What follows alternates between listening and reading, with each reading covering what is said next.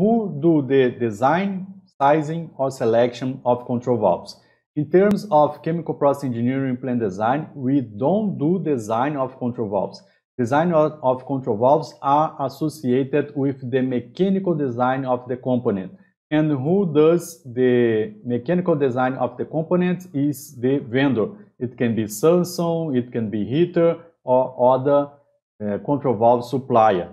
So we don't do the design of the control valve.